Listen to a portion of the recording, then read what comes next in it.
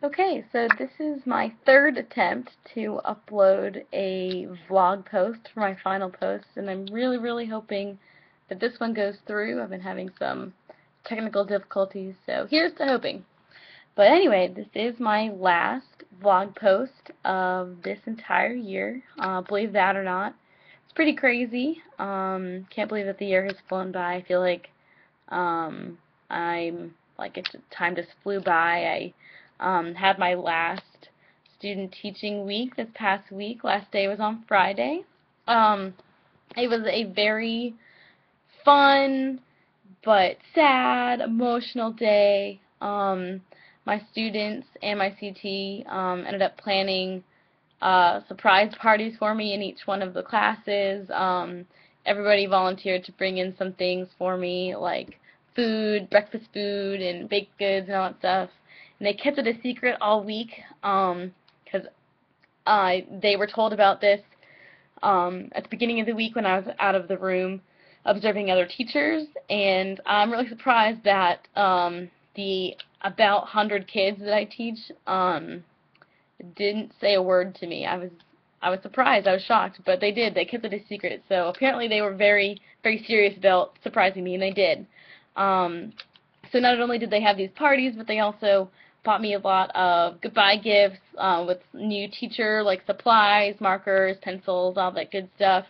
Um, there were a lot of kids who pitched in with my CT to get me this really nice, awesome bag of teaching supplies, um, as well as some kids who bought me individual gifts that they did on their own, and I was just completely taken aback. I mean, I didn't, I did not see that coming. I was completely shocked. I um, like left the building with um, several bags of this of pencils and markers and like clips and all this stuff, and I it was something that I really did not expect. Um, it was a really really nice gesture and kind of um, was something that I didn't even realize how much of an impact I had on these kids, but throughout that day, and it, like with all the nice things they did for me, not only that, just the nice things that they said.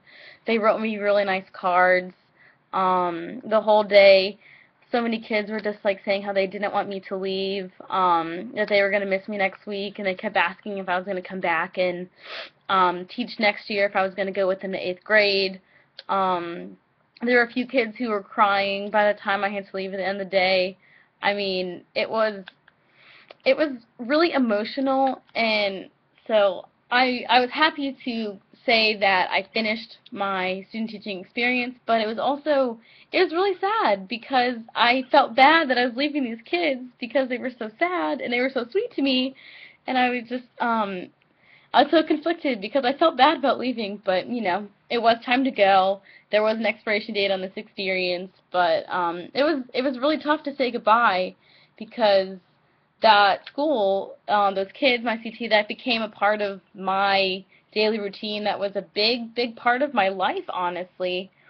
Um, and just knowing that I made such an important impact on them based on how my last day went, how they reacted, um, to me, that is the payoff of this entire experience, not just student teaching, but of getting my master's in education. Like, I know that doing the work, getting the grades, um, getting the diploma and license, that's all part of it.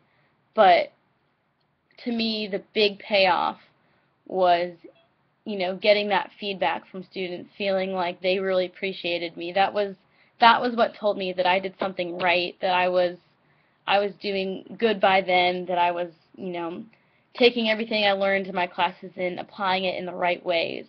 Um, because I really did feel appreciated and like I was genuinely going to be missed. And so I was just very, very happy to know that um, they felt like I was a good teacher to them. So, um, like I said, it was an emotional day, but um, overall good feelings all around. Um, in terms of just this being a reflection on the entire year. Um, it, it it's so funny because I remember hearing the phrase like the journey from the other side to the um to the other side of the desk, and I remember hearing that at first and thinking it was kind of cheesy kind of lame at first, I'm not going to lie, but um it's so funny because that ends up being exactly what it's like. It really is a journey. You slowly just one day you're like switching and all of a sudden you're thinking like a teacher. And it's really not all of a sudden because you do have your methodology and the philosophy along with using that in your in the uh, student teaching experience. But um, at some point during my student teaching I made that transition. I I did have that journey from one side of the desk to the other.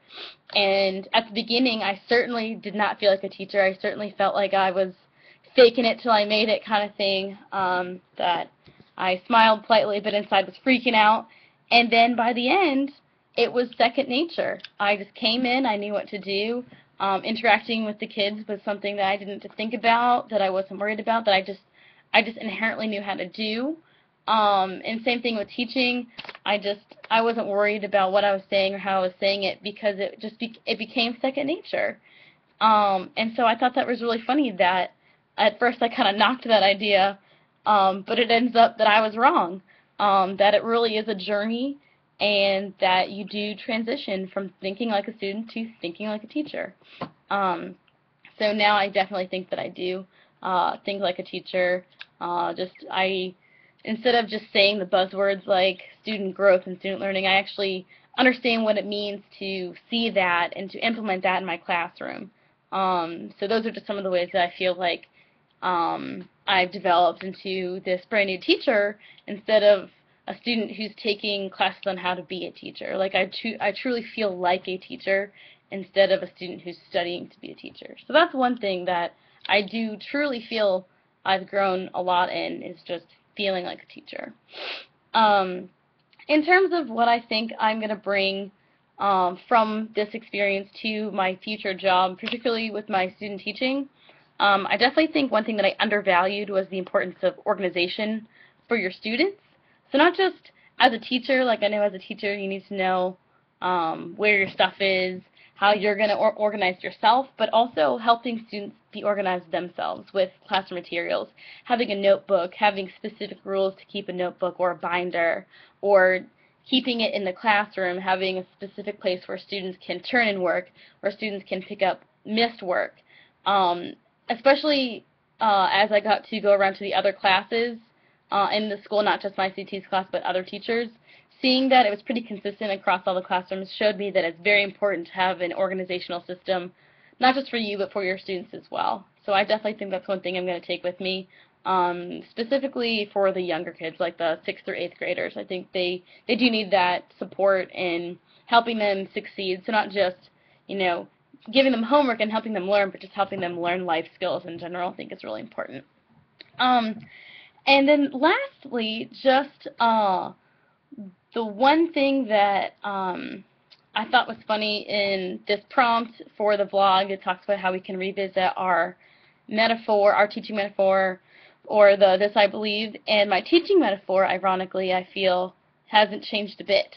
Um, I wrote about how I felt like the classroom was like a team, teacher was like the coach, and the students were the players, and we all have to work together um, because we are trying to just be this team, this one unit. And um, uh, in my actual student teaching, I truly would take on that persona of being a coach and, and very encouraging, and I would make sure that my students knew that I believed in them, and I would try to um, coach them to the answers. I wouldn't give them the answers. I would help them ask the questions, the right questions, tell them that I believed in them. And it ended up being a really, really helpful tool for me, uh, not just with building relationships, but also um, establishing behavior management, um, which is one thing that I feel like we all struggled in our cohort. Um, but for me, instead of being strict, instead of being angry, I took the I'm the cool one type of attitude um, so when I would have to give out punishments, I wouldn't be angry, I wouldn't be strict, I would just say, here's the rule and you broke it, so here's your consequence, but I still believe that you can change your actions in the future. So I would never feel like I needed to condemn a student for breaking the rules. Instead, I would just say, here's what the rule is, you broke it, you knew that you broke it, so I have to give you consequence, but that doesn't condemn you forever. That just means that you have to change how you're acting in my classroom so you don't get in trouble again. So that was one thing that I actually think um, I inherently knew about myself was that I am encouraging, I am like a coach because I have had um, experience in the past with being a leader of um, those who are a little bit younger than me and that I know that just yelling isn't going to work, that they really need to feel supported and like you care. And so to me, in my classroom, I know that I want that positive environment and that, well, behavior management does have to be part of your classroom. It doesn't have to be a negative thing. It can be uh, just, it is what it is, but don't worry because everybody can change and you can change too. So that's kind of my attitude. That's how I uh, ran my class this year. Um, and I always made sure that I was, you know, smiling when everybody left, even if there was behavior management issues. So I think that is one thing that um, hasn't changed. I still believe that um, I am still like a coach to those um, students. Uh, and if anything, I almost feel like I understand my metaphor more because I think it is important to develop uh, a team atmosphere in the classroom. Uh, and almost, uh, I think I would like to develop that a little bit more because I do think I have the coaching part down that I am encouraging, but I almost want to help students be encouraging of one another like teammates because that was one thing that I didn't see across the board. Some students were like that and some were not. So I think in the future I would like to um, develop a classroom that has a team-like atmosphere that has everybody working with one another. Because um, I have seen it done. I saw some students actually on my last day helping uh, other students um, to finish their work, um, which I thought was phenomenal. And I wish it wasn't my last day because I would have loved to develop that. But in the future, that is one thing that I think I'm going to take from my metaphor, um, really take it seriously and try to develop it. So um, that's pretty much it. I am going to go back to working on my e-portfolio, so that's going to be awesome. But um, that is pretty much a wrap on all my vlogs and my blogs for this year. So thank you for watching, reading, on all that good stuff.